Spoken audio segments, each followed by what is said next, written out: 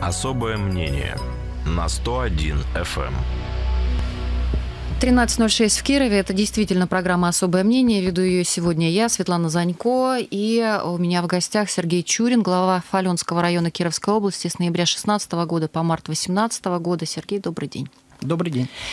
А, очень важно было пригласить вас сегодня в эфир, потому что, потому что вчера в Кировском областном суде в апелляции Сергей Чурин был полностью оправдан. С него были все, сняты все обвинения по статье, которая вменялась Сергею, статья 286 часть 2, превышение э, должностных полномочий по совокупности там сюжетов разных грозило Сергею 10 лет 10 лет э, пребывания в местах не столь отдаленных, а за его работу на вот как раз посту главы Фаленского района. Я поздравляю. Спасибо. Я поздравляю, потому что 40 судебных заседаний почти, да? Да. да. А, это вообще беспрецедентно, чтобы столько судебных заседаний, и длилось это все полтора года. Ну Почти ну да, два. Примерно так. Почти два года. Мы следили за этим делом, а, и сейчас мне очень важно с Сергеем поговорить а, обо всем, что а, происходило и во время работы на посту главы Фаленского района, и во время суда, и теперь какие настроения после того, что случилось, есть ли еще желание а, работать на благо Отечества, да, на благо людей, или есть ощущение, что с этим надо завязывать. А может быть, мы с этого и начнем. Что, а, что вы думаете делать после того, что произошло? И думаете ли вы а, больше никогда, например, никогда не ходить в чиновники, не ходить в общественные деятели, не заниматься общественным благом, а работать там так, чтобы не касалась система вас вообще никак? Ну, я думаю, что такой работы не существует. Ну, отвечая на ваш вопрос, угу. когда ты, ну, что тебя никогда ничего не касается работаешь ты чиновником в муниципалитете, либо там, в ООшке какой-то. А закон, он всегда закон, и если ты нарушишь его, тебе достанется. А, и специальные органы существуют, которые все время контролируют всех и вся, и не только чиновников. Отвечая на вопрос, а работать ли, если планы вернуться там или дальше, э, не скрываю, это не первый, вы не первый меня спрашиваете, то есть таких вопросов достаточно много. Я немножко по-другому поставил вопрос. А хочешь ли ты вернуться? Нет, хочешь ли ты заниматься а, интересной работой? Вот на этот, э, на этот вопрос я с удовольствием отвечу «да». А работать, Для... а работать главой района было интересно? Очень. Угу. То есть и главой района, и главой поселка. Я изначально туда пошел, понимая, что эта работа будет мне интересна, а потому что я, я люблю что-то создавать, люблю напряженный э, график работы, ритм вот этот, э, большого количества э, приговоров, какой-то новой информации. Вот это все мне интересно. Но у меня будет прямой вопрос. Собираешься ли вернуться на этот пост? Пока не я пока для себя этого Нет. не решил. Пока не решил. Нет. Но, не, но, не, но не отметаешь эту историю. Я эту не отметаю, идею. то есть э, это большой урок на, для меня а, в любом случае, ну, все, что нас не убивает, делает нас сильнее. А, безусловно, в каких-то вещах, а, наверное, в погоне за результатом, за конкретной целью, там, это же газификация, да, угу. наверное, я делал, может, всего возраста молодости быстрее, чем надо было. Эти уроки я получил, я, они зазубренные мне остались. Так, еще раз мы говорим с Сергеем Чуриным, Чуриным, экс-главой Фаленского района. Э, Сережа оправдан, и слава богу. Да. Слава богу. Значит, э, все снято, все обвинения. Напоминаю, 10 лет грозило посадки. А потом а, было вынесено решение местного суда о том, что наложен будет штраф в районе где-то 200 тысяч. 120 тысяч 120 тысяч рублей. Но даже это а, не остановило Сергея. И ты пошел... Давай на ты перейдем, да, просто так хорошо. будет комфортнее нам. Ты пошел дальше и решил полностью целью а, а, добиться оправдания, хотя я помню, что адвокаты тебе говорили, что, может быть, на этом мы остановимся, просто забудем как страшный сон, но ты пошел дальше. Почему для тебя было важно добиться полного оправдания? А, об этом мне говорили не только адвокаты.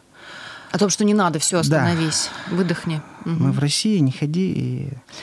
А, ну, потому что я не виновен. я же ничего не совершил того, что мне инкриминируют. То есть, э, поэтому, прежде всего, только из-за этого. Если бы я чувствовал хотя бы ну, на, на мизинчик какой-то вины, то такие мысли бы у меня появились. История э, с тем, как ты э, пытался справиться с этой ситуацией, она достаточно типична, потому что когда были предъявлены обвинения за то, что ты переложил трубу, таким образом добившись того, что детский садик стал отапливаться, и дети снова стали ходить в сад и не болеть, и пожарная ну, не настолько часть. там было все сложно, ну да. да. Там еще какие-то вещи, а, а ты, же, ты же изначально не собирался обращаться к адвокатам и думал, что все это а, сойдет на нет, но при этом все равно ты уволился со своего поста. И тем не менее, в итоге итоге пришлось обращаться к адвокатам, потому что дело при, приняло серьезный оборот. Да. Никто не собирался оставлять тебя в покое, и дело хотели довести до суда, до, до не суда, а его довели до суда, а до кон- конечной точки, чтобы ты, ты сел как это, как это сейчас э, происходит со многими главами поселений и районов. И мы собирали специальный материал за 2018 год, 12 уголовных дел и посадки. В 2019 году происходит то же самое. Я вот сейчас недавно вернулась из районов тоже, и я вижу в одном а, поселке а, там человек сел, в другом районе человек сел, третий под судом. И в очень многих населенных пунктах висят объявления о том, что требуется глава поселения, глава района, глава там, села и так далее. Нет людей, которые туда бы пошли, и вообще эту должность на, э, называют расстрельной. Вот об этом тоже сегодня поговорим, но вернемся к вопросу, который я сказала, который я а, пыталась задать первым, тоже у меня эмоции переполняют, потому что я очень рада, что это дело пришло вот именно к этому, э, к этому концу. Э, скажи, пожалуйста, как ты думаешь, если бы в этом деле ты не подключил адвокатов, справился бы с этой ситуацией или сидел бы уже? Ну, вообще, в принципе, без адвокатов, ну, конечно, бы я сидел. То есть я не юрист по образованию, а, поэтому я как слепой котенок, я этого ничего не знал. Это типичная ситуация для чиновников а, твоего ранга, для людей, которые занимают эти посты, кто идет на глав поселений районов? Я думаю, что да. Если вы, если кто-то уже является главой какого-то муниципального образования, либо планирует им стать, Друзья, заведите телефончик адвоката. Не, не, скорее всего, у вас не будет настолько там, тяжелая статья, но совет и всегда иметь э, возможность позвонить этому адвокату у вас должна быть. Ну, вот таковы реалии. То есть, угу. если хочешь идти туда, то надо это иметь.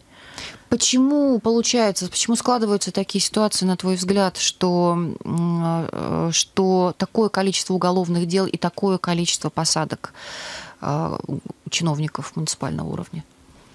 Ну, я вряд ли здесь буду объективен. Это мое частное мнение. Но у нас особое мнение программы, да. А, что происходит? Возможно, Расскажи, это, возможно это в рамках а, ну, борьбы с коррупцией. То есть а, не все же белые и пушистые. То есть существует, и я уверен в этом, что и большое количество получается чиновников, которые проворовались или там берут взятку. Они есть. Говорить, что их вообще не существует, нельзя. Э, поэтому к ним повышено внимание. Э, Но есть огромное количество дел, подобных твоему. Да. Вот эта ситуация ну, почему складывается? Я надеюсь, что это все в рамках борьбы с коррупцией. Вот давайте так, я не знаю почему, но я надеюсь, это именно... Мы же за то, чтобы не было коррупционеров, за то, чтобы не было нарушений. Ты надеешься, что так действуют э, силовые органы в связи с тем, что они борются с коррупцией. Да. Но в твоем случае, как и в случае многих других... Э, а, хорошо, почему вы поводы даете? Э, чтобы, ну, чтобы, чтобы, чтобы можно было за что-то любое хозяйствующий, любая хозяйственная операция это уже повод. То есть вот, ну, требуется переложить трубу. Получается, денег нет. А денег нет. То есть, ну, либо есть, но мало, либо, э, ну, и огромное количество э, сопроводительных мероприятий, то есть там закупки, когда они требуются и прочее, прочее. Там легко допустить ошибку. Опять же, мое частное мнение, возможно, э, все-таки кое-где палочная система осталась, а всем надо получать зарплату. Вот может быть, из-за этого. Прервемся на полминуты. Я бы хотела поговорить с тобой о вообще ситуации в, в районах и в, в поселках. Да, как она складывается и что вынуждает э, глав, в том числе, исхитряться, что называется, для того, чтобы решать эти проблемы. Особое мнение на 101 FM. Для главы Продолжаем разговор. В программе «Особое мнение» Сергей Чурин, глава Фаленского района Кировской области с ноября 2016 года по 2018 год, экс-глава, который был вчера в областном Кировском суде полностью в апелляции оправдан. С него была снята статья 286, часть 2. Это самая тяжелая статья для чиновника. Тяжкое, да. Тяжкое превышение должностных полномочий, грозило 10 лет. А, было все-таки обвинительное, а, обвинительное решение в районном суде. Э, был, правда, наложен штраф, э, реальный срок не давали, но Сереж пошел дальше и выиграл, что называется. И сейчас все обвинения сняты.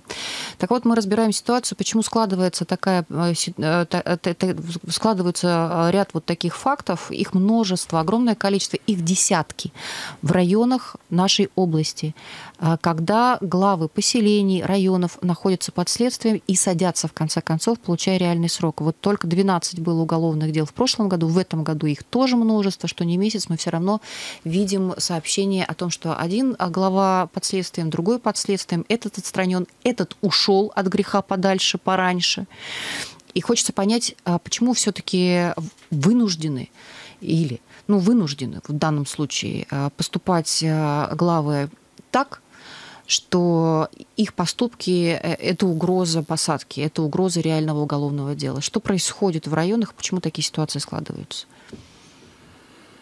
Я бы хотел еще добавить, что, возможно, э, за такими действиями ведь э, просто существует какая-то борьба экономическая в каком-то конкретном районе. То есть где-то ведь лес, а где-то сельское хозяйство, где-то еще что-то там добывается или производится.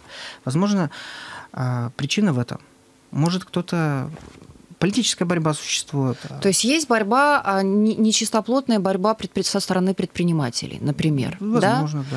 Да, да в, я правильно понимаю? Да. Такое есть тоже. некая политическая борьба, да. когда хотят сменить одного да. А, главу на, хотят. на другого да, главу, да. сами хотят да. стать. А есть, мне кажется, еще ситуация, а, и даже не кажется, что есть такая ситуация, когда закон так а, регулирует деятельность населенных пунктов и их глав, что не нарушив, не сделаешь ты благо. Да, Невозможно да. вообще, Просто. если следовать букве закона, залатать дыру в водопроводе, который сейчас там течет, а завтра еще три дыры. Mm. Невозможно отопить детский садик и так далее. Есть такое? Есть. И это больше всего, конечно, это на самом низком уровне, это на уровне поселений, особенно сельских, там, где бюджет 2 миллиона рублей, там 90% этих денег это зарплата. Что там делать вообще невозможно. То есть э, можно сделать только если ввести самообложение, на многих это есть. Опять же, возвращаемся к проектам поддержки местных инициатив. Появляются деньги, э, если поселение попало в проект. И, конечно, там надо быть очень аккуратно с расходами этих денег. И мы тут возвращаемся к той ситуации, что если у кого-то из проверяющих органов будет желание, они 100%, вот я заверяю, 100% они найдут. Дальше все зависит от, от э, желания проверяющего. То есть, как он с этим главой дружит, не дружит. А если он с ним не дружит, то то есть какова задача встреч. проверяющих органов в данном случае, надзирающих органов? А, что, что называется, поставить галочку и посадить? Если или честно, помочь поселению выпутаться из этой ситуации? Вот э, с моего увольнения прошло уже больше года. Может быть, ситуация изменилась, но вот на, я отработал почти 8 лет сначала в поселка, потом в района. Мы не совсем с коллегами общались, мы не совсем понимаем истину задачу проверяющих. Ну, вот что конкретно они хотят. Э, мы не враги проверяющим там. То есть мы бы с удовольствием услышали их мнение. То есть вот, вот так нельзя делать, вот так нельзя делать. И, и делали бы так, как им... Э, в конце концов, очень часто нам без разницы. Мы, если, если бы мы сразу правила игры знали, да, ну, вот я так скажу. Вот здесь, кстати, Выходишь на поле, да. а, а правила игры ты знаешь не все. Вот, вот здесь, кстати, да, вот это вот такая типичная ситуация, когда а, главой поселения становится человек, который не имеет никакой, никакой базы для того, чтобы главой стать. Он не знает бюрократических процедур, не знает закона, не знает, как, собственно говоря, а, не сталкивался никогда с проверяющими органами, mm-hmm. да, не знает последствий, которые могут быть, и узнать их невозможно даже а, проведя семинаров, которых не было, но сейчас mm-hmm. проводят, кстати, Министерство внутренних внутренней политики, Хорошо. стала проводить э, эти семинары по юридическому просвещению, угу. глядя вот на эту ситуацию. Человек не знает, он приходит как обычный человек и Да. действует как обычный человек. Такая вот история. Он действует, но вот тут, Светлана, м, я, мне нравится сравнивать предпри- э, глав поселений или районов с предпринимателями в том смысле, что как там, 5% всего населения может стать предпринимателем. А Глава поселения то же самое. То есть это достаточно редкий склад э, человеческого ну, ума или подхода. Он, мне кажется, он похож на предпринимательский. То есть у тебя постоянно должна работать голова в том смысле и голова твоей, головы твоей команды. А, ну, как решить эту проблему? Вот просто по учебнику, там, как, даже если образование будет, этого не, не сделать. На- Надо искать нестандартный способ. И очень часто, когда человек-то приходит без, без, без подготовки, он решает эту проблему. Он просто не знает, насколько это сложно, а когда же не боишься, берешь и делаешь. А, и так получается, что нарушаешь закон, потому что ты действуешь благодаря здравому, э, как бы, по э, здравому смыслу, следуя, потому что надо спасти поселение от того, от всего, от пятого, от десятого. Ну, давайте мы, слава богу, А не- не- закон э, жестко не- регулирует. У нас У тебя э, сегодня прорвало трубу, а закон тебе даст возможность ее, может быть, починить не в этом году. Я бы даже не, не про трубы и не чрезвычайную ситуацию сказал. Вот ну, свой пример опять же расскажу. Я очень хотел построить футбольное поле. И если бы я знал все эти законы, ну вот э, правила и прочее, я бы его ни за что не построил. Но мы его, сообщая всем поселкам, построили. Предложи мне сейчас поле построить, ни за что не соглашусь. Потому что я знаю, насколько это сложно и тяжело. Ну, я сейчас скажу, это невозможно. Так как строили мы без денег. Абсолютно. И поэтому, если в каком-то поселке хотят построить фонтан, не знаю, в Стрижах, может он, кстати, там есть. И если человек придет опытный такой, о, ребята, это все сложно, там, там, там, там, там, трубы натянуть, прочее. А если человек приходит с идеей, вот хочу фонтан, и у него единомышленники есть, по по мои попали, и они построят этот фонтан, но потом скажут, не, все, я, ребят, умываю руки, я построился. Это тоже сила а, у предпринимателей, ой, у глав поселений, которая двигает э, и реализует какие-то идеи. Все равно, получается, не благодаря, а вопреки делают. Да, ну, да, да. Чаще всего так и происходит, и, и слава богу. По, если ждать вот прям вот программы там какой-то, э, или писать эту программу, это долго и получится мало. Ну, это мое мнение. Вот я уже сказала, что была а, в районах а, буквально последние два дня и вижу, какие разные есть поселения. В каких-то а, люди, пользуясь разными программами, действительно объединяются, они делают какие-то проекты, в каких-то руки просто опускаются, и у людей замкнутый абсолютно круг, и ты видишь, что они не способны не договориться, не договорившись, не верят, что что-то вообще может получиться, что есть для них хоть какая-то перспектива. Это что касается уменьшающихся в размерах, например, деревень и сел. Было 2000 человек, стало 200, например, в Донаурово, да? И вот, и там водопровод, который требует нескольких десятков миллионов. Где ты их И возьмешь? на протяженностью, такую- наверное, И протяженностью, где ты их возьмешь, да, а, при любом самообложении не хватит. И вместо того, чтобы изучать а, документы, новый глава, который месяц всего работает, он лично своими руками затыкает и- эти, эти дыры э, и латает и так далее. Вот где здесь выход найти? Что, что должно произойти, чтобы изменилась ситуация? Вот ты, работая в этом статусе, сейчас глядя на эту ситуацию, ты видишь, что есть выходы или нет? А, Я тут э, пессим... в, этом, в этом вопросе я пессимист, то есть тут э, э, кардинального я прорыва не вижу, то есть это что-то должно быть на законодательном уровне измениться. А, Ну, для меня, вот мое мнение, что роль местного самоуправления, она падает. Она не, Оно есть вообще местное самоуправление? Ну, Люди есть. самоуправлять И- могут? Могут, могут. Э, И я сейчас даже не про людей, а про глав. Э, Они же поставлены людьми, они вы- выбраны местным самоуправлением. Но роль, конечно, падает, значимость падает, бюджеты падают, все падает. И пока тенденция обратно не будет, то, понятно, будет и пессимизм, и, и прочее. Тенденция может переломиться, и благодаря чему? Это должно быть решение сверху или может быть какое-то Ну, решение законодательство у движение нас снизу? как минимум либо на региональном уровне, либо на федеральном должно смениться кардинально. А что для этого нужно, а, чтобы сменилось? Ну, в смысле, в какой части должно смениться законодательство? Больше полномочий передать муниципалитетам? Или, опять же, Ну, полномочия- закидать федеральными деньгами? А полномочий с финансированием. У нас- любят придавать полномочия, а финансирование, должного финансирования не, не существует. Или там дают, но совсем мало. Э, можно и в рамках и действующего законодательства, но если в рамках действующего законодательства, то, это, безусловно, это надо поднимать э, финансирование. А, ну, возможно, у нас 131 федеральный от, если не ошибаюсь, 97 года. Может, ошибаюсь. Я не юрист. Или 2003 -го. Ничего вечного не существует. Возможно, там, через 2, 3, 5 лет вот что-то изменится. Скажи и мне, пожалуйста, рецепт э, для таких людей, как Данаурова, о котором я тебе рассказала, он вообще существует в рамках действующего законодательства и действующей системы? Как выживать? Для решения проблемы Данаурова, ну вот я вас, э, тебя сейчас я выслушал, я понял. А, я думаю, что закон, законного нет, незаконно есть, и я, наверное, расскажу не под микрофон.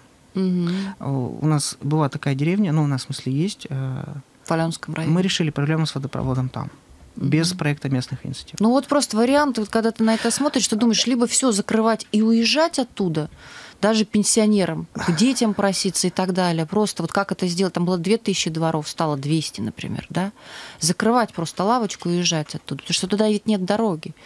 Да, я там один раз был. Да, Красивое туда, место. Там очень красиво, но туда нет дороги, там, а где нет дороги, нет жизни, да. собственно. Либо находить какие-то пути. Пути есть. Пути есть. Расскажу конкретно по водопроводу, не под микрофон. Не под микрофон. Все понятно. А, сейчас мы прервемся на короткую рекламу. Напоминаю, что это особое мнение Сергея Чурина, экс-главы Фаленского района Кировской области.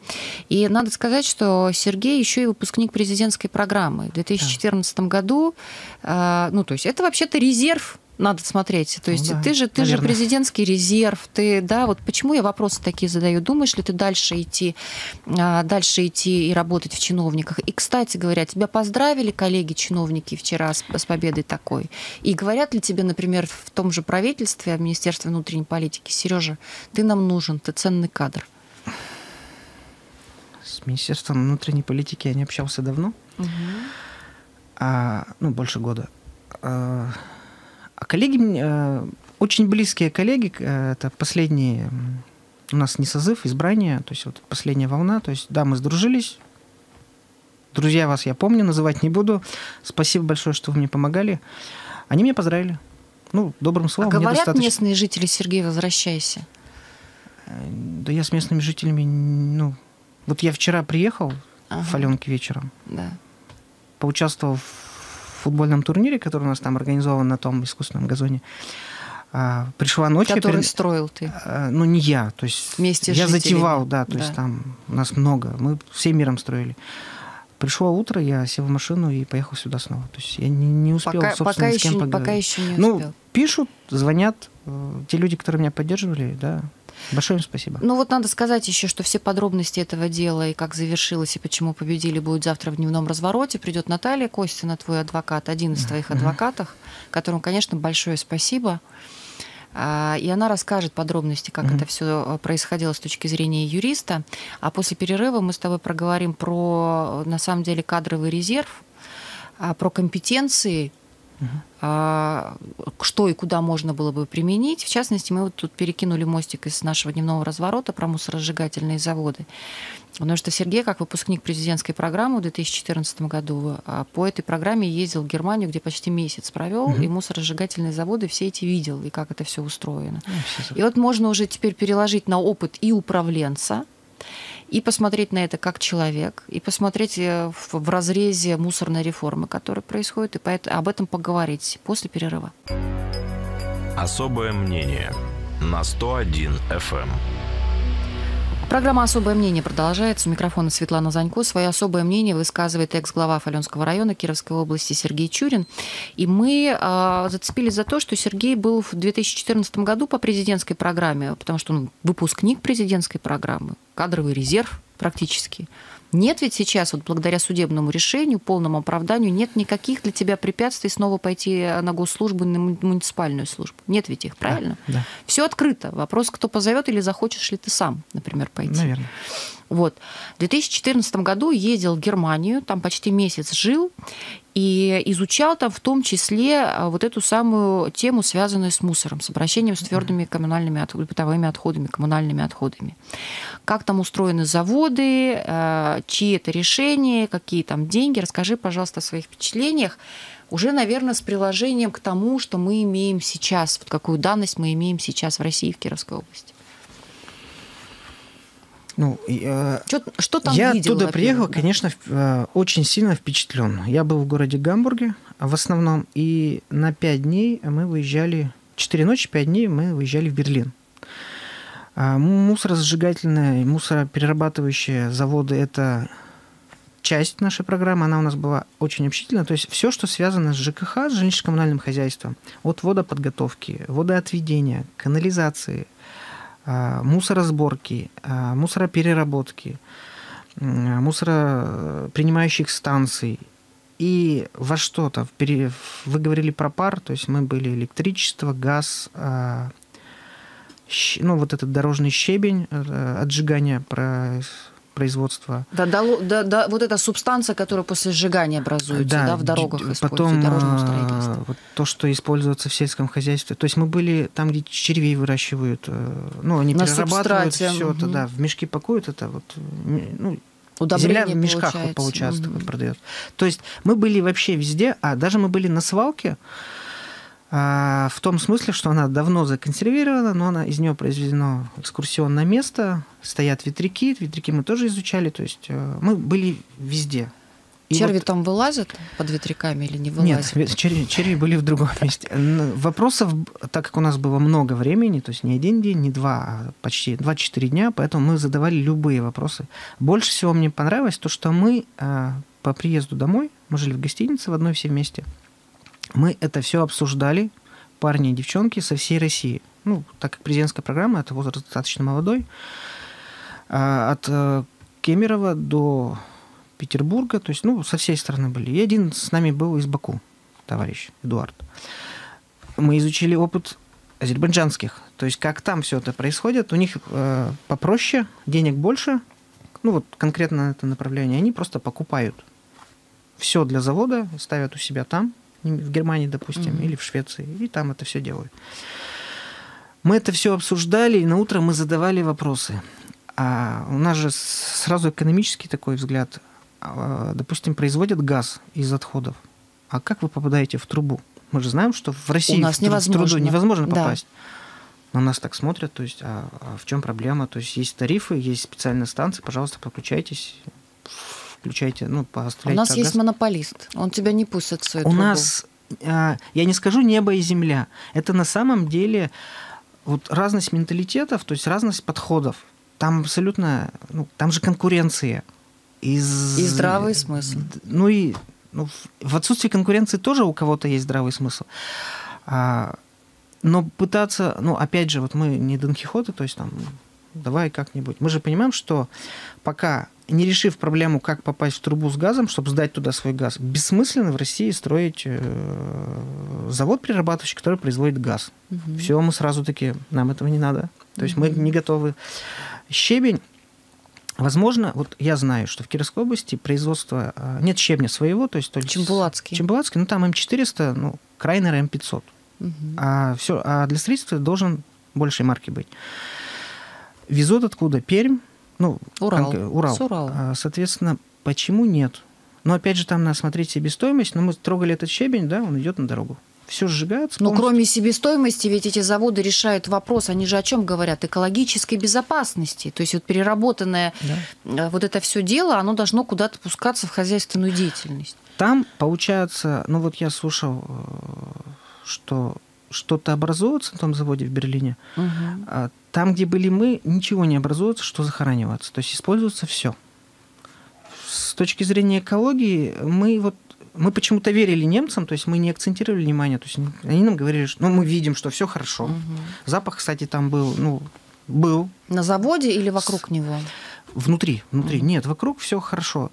А в самом Гамбурге э, все, что производит э, город Гамбург.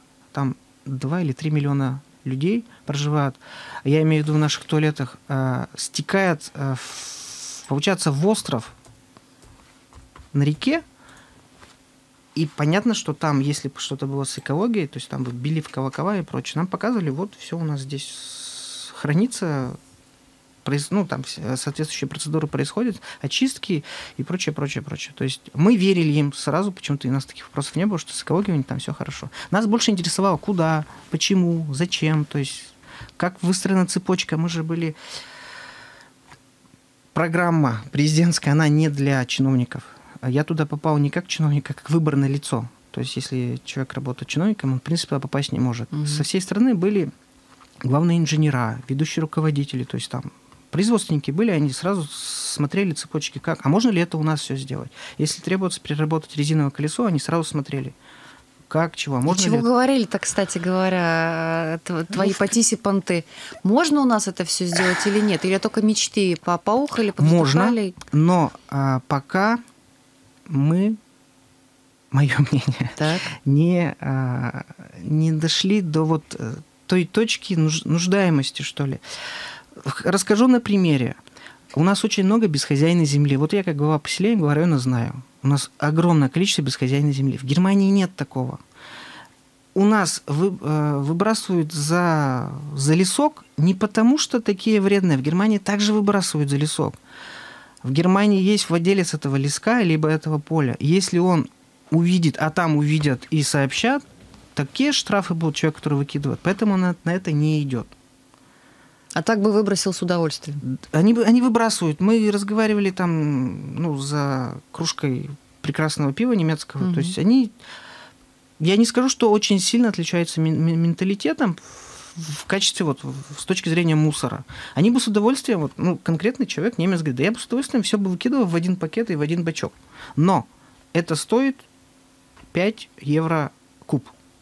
А если я достану туда алюминиевую банку, сдам в магазин, за нее мне дадут 40 центов, пластиковую 20 центов, ну это я реально угу. все говорю. Пластик я запихаю в соседнюю, то есть он раскладывает чисто по экономическим целям. Угу. У них на каждой э, стоит ключик, видеокамера, там, где мы были, всегда стоит видеокамера, чтобы там невозможно... За вами мус... наблюдают. Вот я хочу прийти в соседний бак пристроить. Нет, у меня ключа от них нет. То есть у них там все это выстроено, да. А прием посуды, мы же обращали внимание, то есть ходили за продуктами в, ну, в огромный торговый центр, там гипермаркет продуктовый. Практически все стеклянные бутылки не до такой степени стерты, это это про продукт, который возвратный. Угу. У них стоят автоматы, они тебе не дают денег, они тебе дают корешочек на штрих-код, ты сдаешь его на кассе и эквивалентно деньгам. У тебя скидка получается, да? Да, да можешь. И такие скидки хорошие, то есть вот я сейчас помню, жестяная банка стоила, в общем, 40 центов и 20 центов. 40, наверное, вру, 20, вот что-то в районе Покупая 20 центов. новый продукт в такой упаковке, например, ты предъявляешь этот штрих-код, и тебе да, это зачитывают да. как деньги. Можешь прийти без денег с большой угу. мешком пивных банок, угу не мятых, почему-то там мятые не принимают. Ты их туда спихал, автомат тебе выплюнет это все. Ну вот и что ты думаешь сейчас, спустя столько лет, уже пять лет спустя вот этой поездки, когда вступила в действие мусорная реформа, когда у нас собираются построить э, завод по переработке отходов первого-второго угу. класса опасности, ну и, кстати, там уже заговорили, что попутно могут перерабатывать просто мусор там, да, ТБОшный. Что ты думаешь, сейчас-то мы готовы к этому? Я думаю, что мы не готовы, э, мы не понимаем, что нам э, нужно в производстве, ну, что мы хотим получить по итогу. Угу. Вот построили завод, он что должен То не просто сжечь это все дело. Почему? А Это есть такая точка зрения. Просто сжечь. Но все равно же там в итоге получается хотя бы этот шлак, о котором ты говоришь, который можно в дороге закатывать. Он, э, Но в шлак... дорожном строительстве у нас, например, его в СНИПах там или в чем там, в нет, ГОСТах нет. Есть, он загастирован, то есть это обычно же... Даже сейчас в строительстве... В России есть это? Конечно, в России. Ну, у нас сейчас на дорожное строительство применяется не гранит, который добывается, а продукты от горно-обогатительных комбинатов в том смысле, что там уголь сжигают, угу. и от него такой... То есть как... можно это все да, ввести, да, даже уже, если этого нет? Уже есть все. Так. Почему такое сопротивление тогда встречает э, у населения идея строительства таких заводов в регионе? Вот я из фаленок, если рядом да. построят в фаленках, я буду тоже, наверное, против. Вот Почему же в Гамбурге, не разбираясь... в Гамбурге не против, а в фаленках против? В Гамбурге ну, к сожалению, нам э, не рассказывали. Вот я Этот хочу, вопрос... чтобы ты объяснил, почему. Вот ты рассказываешь Сейчас про они не Гамбург. против, потому что они... Вена рассказывает, как прекрасно. Все говорят, как у них хорошо и безопасно, но когда тебе говорят, что в Фаленках можно построить такой завод, вот точно такой завод, ты говоришь, я буду против. Почему? Ну, я ответил как абстрактный житель поселка Фаленки. Лично я не буду против, если точно такой же завод построить, потому что я это видел сам лично. Если каждого жителя Мародыкова вывезут, покажут, я думаю, что там проблем не будет. Ну, там не Мародыковские в основном возмущаются, это как кировчане и, и жители Ну, Котельнич. Это кажется- от чего возникает? От незнания, от неверия, от чего? От незнания. От нежелания вообще в эту историю ввязываться в эту мусорную реформу, инерции какой-то. Ну, как говорится, ведь э, э, недост- не- не- не- не- объяснять нельзя объяснить, вот все поняли, объяснять надо постоянно, беспрерывно. И чем сложнее проблема, там, ну, вот она достаточно серьезная проблема, э, объяснять надо гораздо больше, чем, ну, мое мнение, чем сейчас происходит. это. Мгм, Не хватает информационной И, работы. насколько я понимаю, до сих пор уверенности ни у кого нет, что конкретно там будут перерабатывать. Мгм. Ну, в России же бывает такое, что говорили одно, будет другое. То есть вот недоверие все-таки. Да, недоверие, наверное, отвечая на А вопрос, почему недоверие возникает? из-за предыдущих опытов. А вот недоверие Да. почему возникает? Сегодня нам рассказывал э, Александр Анатольевич Мгм. Чурин, что муниципалитеты решают, что им строить, какой завод. Это мы переходим снова к Германии. Да, везде. И, и, ну и и в 80% Швеции. э, экономики э, в Германии построено на малом бизнесе и среднем. Муниципалитеты Да, решают. Они сами решили, поэтому им не надо Да. там доверять или не доверять. Они У нас приняли решение. м, муниципалитеты не решают такие И вопросы. поэтому недоверие возникает. Ну, в том числе, да. В том числе, да. Мы продолжим еще встречи с Сергеем Чуриным, экс-главой Фаленского района Кировской области. Надеюсь, что в следующей нашей встрече уже можно будет как-то тебя именовать. Ты там определишься, куда ты дальше идешь. Благодарю тебя за эту беседу. Еще раз поздравляю с э, замечательным, совершенно замечательной победой и выигранным делом. Это действительно прецедент. Желаем э, всем чиновникам, кто также считает, что он прав и не чувствует за собой никакой вины и действительно не виноваты, тоже достойно проходить э, весь путь. Вообще хотелось бы, чтобы поменьше было таких дел, и люди, которые знают, работают и желают что-то делать на благо других людей, своих земляков, а имели эту возможность сделать, не нарушая закон. Нигде, ни по каким параметрам. Вот сейчас, по моему опыту, я пока вижу, что в некоторых случаях это просто невозможно. Вот просто невозможно. Есть чем заняться нашим законо- законотворцам. Хорошо бы, чтобы они творили в, в нужном направлении. Спасибо тебе. А, Программа «Особое мнение» завершена. Всем до свидания. До свидания. Особое мнение на 101 FM.